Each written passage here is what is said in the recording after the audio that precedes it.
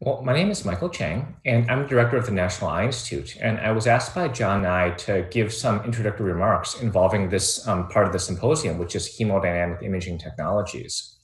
And so, my perspective on this is that I don't do visual neuroscience, um, uh, but the reason I got interested in ophthalmology was because of visual neuroscience. Um, uh, as a medical student, I actually thought I wanted to be a neurosurgeon, and then spent several years in a neurosurgery lab that happened to study the rabbit retina.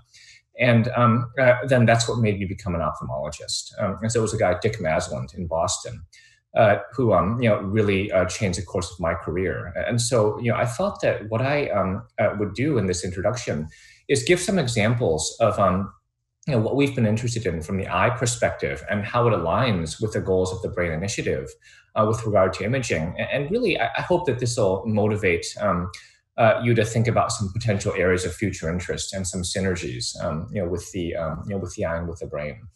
Uh, so this slide basically represents um, traditional uh, eye care. It's using ophthalmoscopy. Basically, what the ophthalmologist does is that they will visualize on the retina, okay, part of the brain, and um, you know. Early in, and this is very descriptive and qualitative. Okay, early in my career, I became interested in an eye disease called retinopathy of prematurity, or ROP, uh, that causes babies to go blind.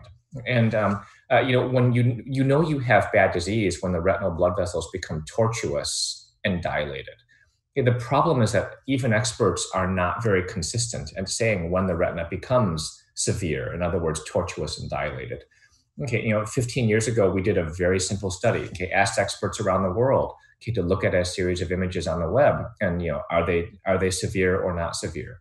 And you know this image here split 50-50 okay, we had a lot of images like that. This is a huge problem. And uh, you know this is not just in ophthalmology. I, I would argue that it's in all of um, it's in many fields where um, you know there's a lot of subjectivity and qualitative nature qualitative nature to the way that we interpret images. Now um, I know that several of you on the speaking panel are from the um, MGH Martinos Center, and you know one of my closest collaborators for the past ten years has been Jayashree Kalpathy Cramer uh, there.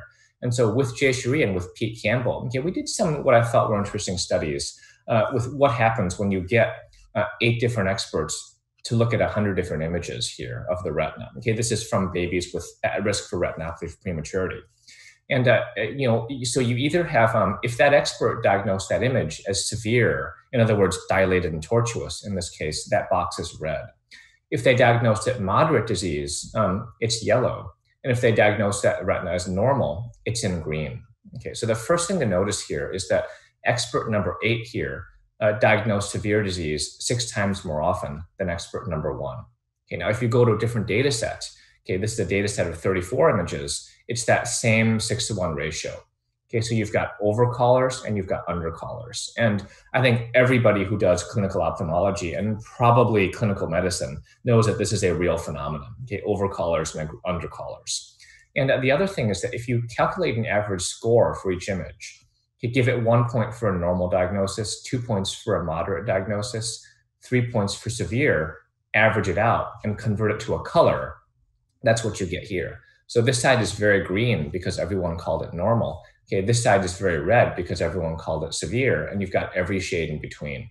Okay, so the real world is a continuous spectrum of disease. Okay, you've got and uh, uh, uh, you know evidence-based medicine makes it sound like people come in buckets. You know, normal, mild, moderate, severe, but that's not really what happens. You've got this continuous spectrum, and we've gotten good data. Okay, with people like Jayashree and Pete uh, showing that if you get two different ophthalmologists to compare which is more severe, image number one or image number two, we are very consistent at doing that. But when you ask people to draw the lines, okay, what's n- normal versus severe versus moderate, okay, we're not consistent. You know, some people draw it here, some people draw it here. And increasingly in ophthalmology, we've become interested in artificial intelligence as a mechanism to try to address these inconsistencies. Okay, so you know we've done some work in this area. Okay, other people have done really beautiful work in this area. And yeah, I, I captured this quote, uh, this tweet from Eric Topol. Uh, of the medical specialties, most people think radiology is, is leading the AI movement, but so far it's really ophthalmology. Okay, now, you know, how come? Um, I think one of the reasons is that we can do things like visualize the retina and have that clinical correlation, and also look at well, how does uh, your diagnosis relate to the treatment uh, of the patient? And uh, there's been some really neat work. You know, obviously, the first FDA cleared autonomous AI system was done in ophthalmology for diabetic retinopathy.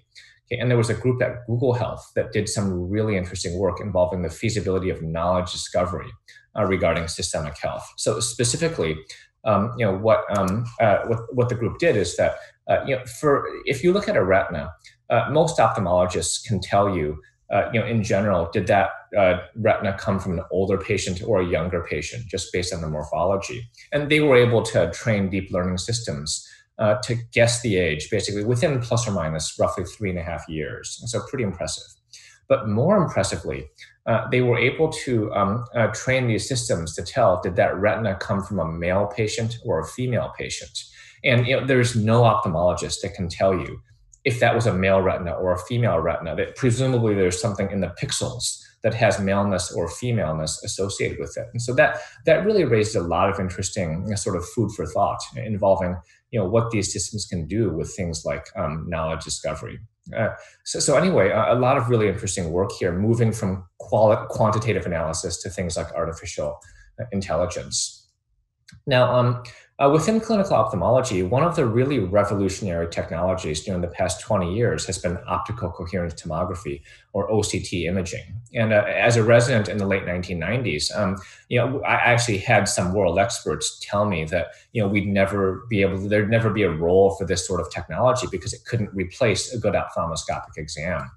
Uh, but you know, during the past 10 years, I had the privilege. I worked in um, Portland, Oregon, and uh, you know really had a, a, privilege to work with some of the you know world pioneers in this area people like david huang and yali jia and they gave me some of these slides and uh, you know this example really demonstrates that technologies like high-speed fourier domain um, oct you know really make things like 3D, three-dimensional volumetric imaging a reality and um, in uh, uh, now i know that this um, uh, the theme of this session is basically hemodynamic imaging technologies. And this slide shows that newer technologies like OCT angiography can detect things like uh, motion and flow uh, within the retina uh, over time completely non invasively. Okay, so this is the optic nerve head within the retina.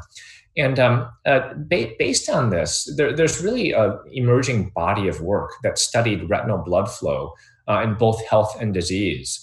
And yeah, I know this theme is going to be representative of some of the work that comes out of what all of you are doing in this session.